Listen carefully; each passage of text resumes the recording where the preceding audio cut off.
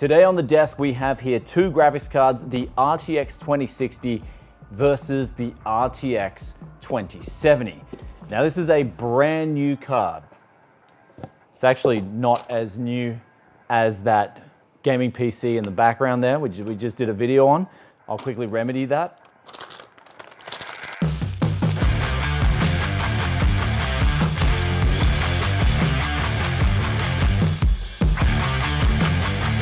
So now back to the topic at hand. Two graphics cards here that represent, in my opinion, the better value of the RTX lineup. We have the 2060 and the 2070 now. In some comparisons I've seen these cards coming close. In the testing that I've done, they have had a bit of a gap. So I've decided to test them out head to head where I'm gonna be both overclocking these samples as well as comparing them at their stock settings in a variety of different titles. So what are we waiting for? Let's just roll the benchmarks and then talk about these graphics cards.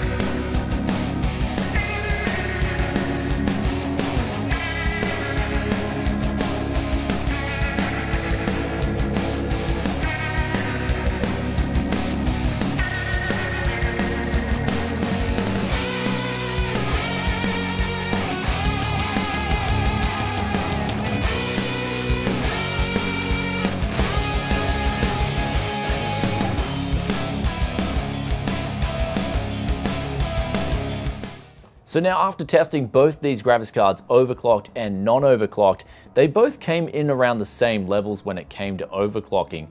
As we can see here with the core clocks and also the memory overclocks, they came to very similar levels, which makes this comparison even better when you guys want to think about purchasing either of these cards and which you should go for. And before we go on with this and looking at the numbers in depth, I will say that both the cards in different countries cost different amounts. So I'm going to focus on this main point. In the US, on Amazon.com, you can currently get the RTX 2060 for around 350 US delivered.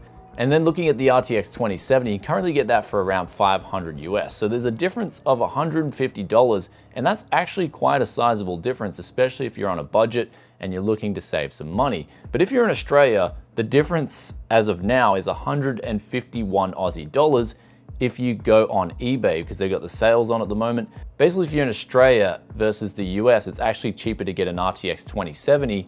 And if you're in America, the difference is bigger than it would be in Australia, if that makes any sense. And we'll talk about that later for which I'm going to recommend. But let's look at the numbers here first. As we can see with Anthem here, the RTX 2070, even when it's not overclocked versus an overclocked RTX 2060, pulls comfortably ahead by roughly 20% in this particular title. When we overclock it a little bit more, it didn't really help it a whole lot, just like it didn't really help the RTX 2060. And then moving to Apex Legends saw this trend continue. However, there was some variance in this benchmark. It is a multiplayer title, and I do like to test out the multiplayer settings versus single player because it just really introduces a real world scenario of playing this game and I find there is a big gap in between the FPS numbers. So 1080p on both cards was absolutely fine, but I did decide to throw in a test for you guys at 1440p max settings because it does recommend you have 8 gigabytes of VRAM on this particular game with these particular settings. And this is where the RTX 2070 did fare a lot better, especially when we look at those 0.1% lows. The RTX 2060 did see a slight amount of stuttering, which was noticeable to my eyes. So basically, if you're looking to get a card for 1440p ultra settings, and you know that's what you want to get, the 2070's extra 2 gigabytes of VRAM may be an important factor in your purchasing decision, but we also decided to test out Shadows of the Tomb Raider on higher settings at 1440p, and it didn't really see any problems on the RTX 2060's 6 gigabytes of VRAM. So basically what does this mean, interluding into the benchmarks here? Means that the 2060 has 6 gigabytes of VRAM right now, and most titles are going to be absolutely fine. But some titles at 1440p Ultra, for example, may incur that limit, which then will affect your gaming experience. But on the flip side, looking at Shadows of the Tomb Raider at 1080p settings, for example, showed a little difference, especially between the RTX 2060 overclocked versus the RTX 2070 not overclocked.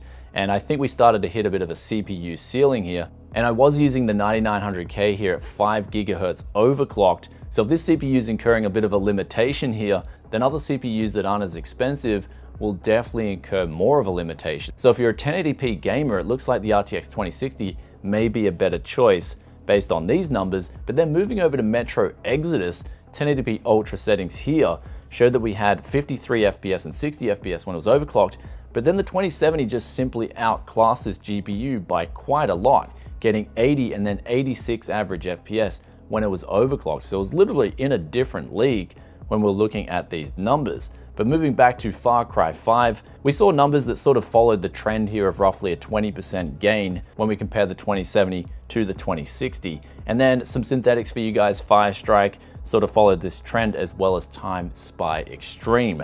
Now another thing to point out for you guys too is that the 2070 will use up a bit more power than the 2060. So that may be another factor when it comes to looking for a power supply and also a cheaper case if you can't get enough airflow through that case and you want to keep things on a strict budget but you still want that performance. In that case you may wish to also check out the 1660 Ti which I'll put a link for up here which had some excellent power consumption numbers. But now taking a closer look at these two cards in particular for this comparison, the Galax RTX 2060 has a 650 gram cooler. It measures at about 23 and a half centimeters long, and we're testing in 25 degree ambience in today's comparison. And what we saw was this cooler did a great job out of the box with its auto fan speeds. They went to about 57%. We got noise levels of about 45 decibels and the temperatures hit about 71 degrees, which is absolutely fine. It's not the best I've seen here, but it's definitely far from the worst. But moving through 60%,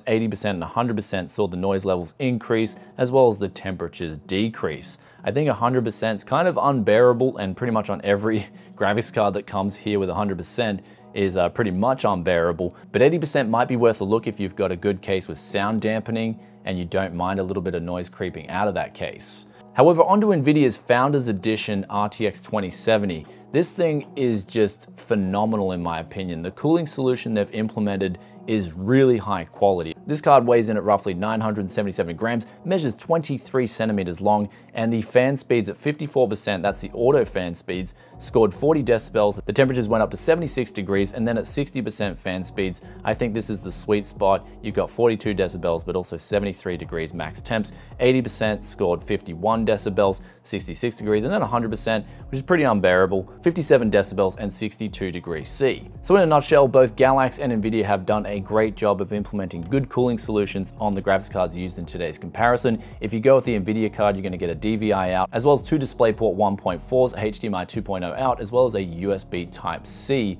display out as well. If you go with the Galax solution, you're gonna get one DVI, one HDMI 2.0 out, and one display 1.4 out. In terms of power connectors, they both require 8-pin PCIe connectors, and the NVIDIA has the input on the rear of the card versus the Galax, which has it on the side of the card. The Galax also features RGB lighting, which you can control in the software, and they also introduced their one-click OC, which does a decent job if you just want a little boost in performance, not as good as a custom overclock. And then moving on to the NVIDIA card, that has the logo which lights up green on the side, which you can turn off with the visualizer software. But now that we're through all those intricate details with these two graphics cards, which should you get? I'd say if you're a new viewer to the channel here, you've probably come here with a recommendation of, okay, Brian, which should I get, the RTX 2060 or the RTX 2070. And honestly, these are my two favorite cards out of NVIDIA's new lineup.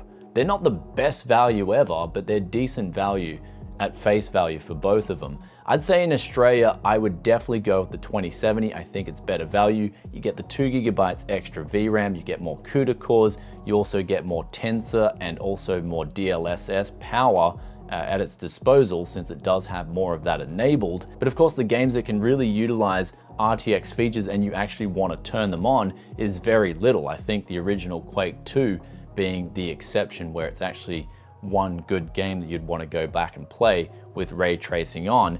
But now the RTX 2060. Who should buy this card?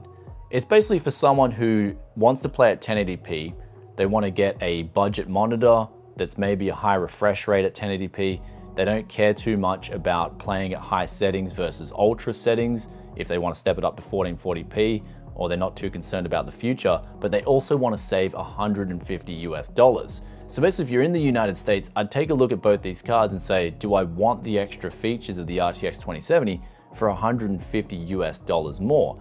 And to top that off, it is going to consume more power and it is going to add a bit more heat inside your case.